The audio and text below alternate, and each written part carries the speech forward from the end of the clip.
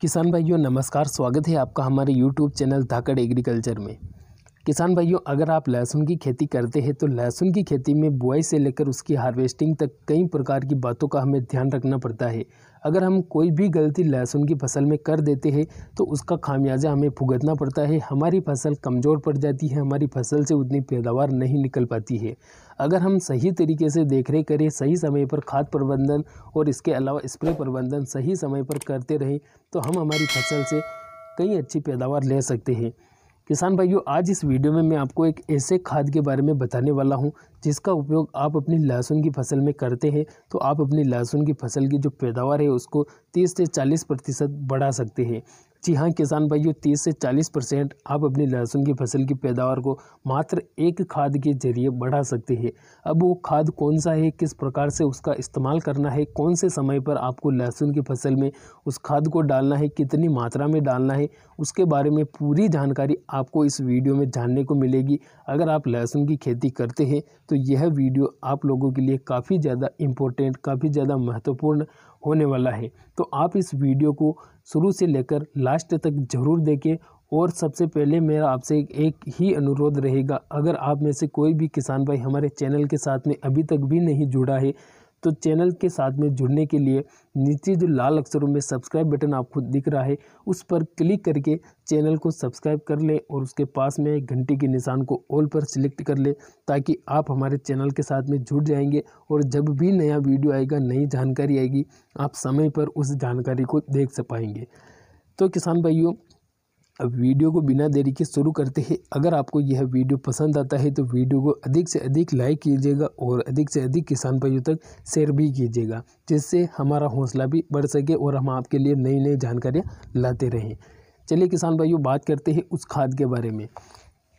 जिस खाद के बारे में हम इस वीडियो में बात करने वाले हैं, उसका नाम है वर्मी कंपोस्ट केचुए की खाद। जी हाँ किसान भाइयों, वर्मी कंपोस्ट खाद एक बहुत ही शानदार खाद है। आपको सुनने में कुछ अजीब लग रहा होगा, लेकिन अब इसकी जो खासियत है, उसके बारे में मैं आपको बताऊँ तो यह केवल खाद ही नहीं, हर एक प्रकार का सूक्ष्म पोषक तत्व तो इस खाद में मौजूद है। यानी कि आपकी फ़सल की ग्रोथ के लिए यह खाद काफ़ी ज़्यादा इम्पोर्टेंट है। अब इसके कॉम्बिनेशन की बात करें, इसमें कौन कौन से पोषक तत्व तो पाए जाते हैं?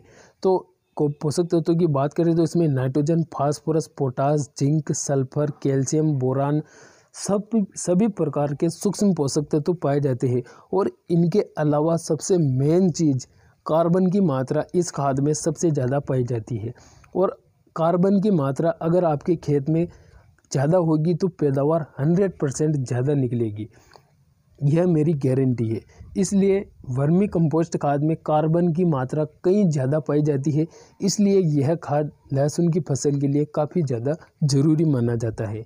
अब इसका उपयोग आपको कब करना है, किस प्रकार से करना है?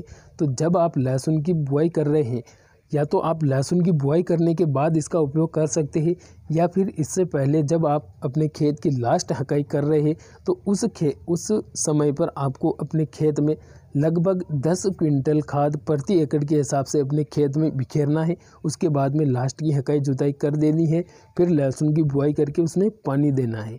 या फिर आप बुआई के बाद में इसका उपयोग करना चाहते हैं तो जैसे ही लहसुन की बुआई कंप्लीट होती है, उसके बाद में 10 क्विंटल प्रति एकड़ के हिसाब से आपको यह खाद लेकर आना है और अपने खेत में बिखेर देना है। उसके बाद में पानी चलाना है।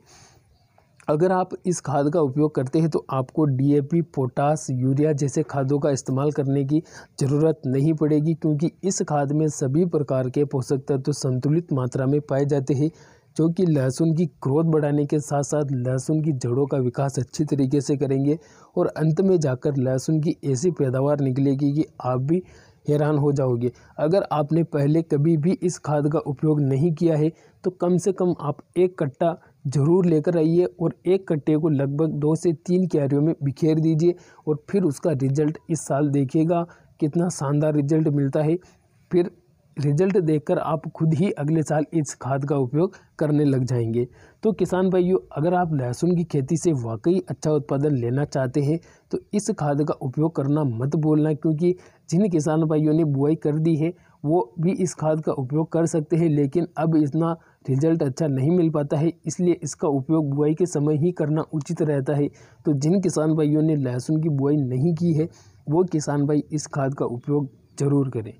किसान भाइयों, जानकारी आपको कैसी लगी कमेंट करके ज़रूर बताइए और इसके अलावा कोई भी जानकारी अगर आपके लिए छूट गई हो तो आप कमेंट करके ज़रूर पूछिए हम अगले वीडियो में उसके ऊपर ज़रूर जानकारी देंगे। मिलते हैं अगले वीडियो में, तब तक के लिए धन्यवाद। जय जवान, जय किसान।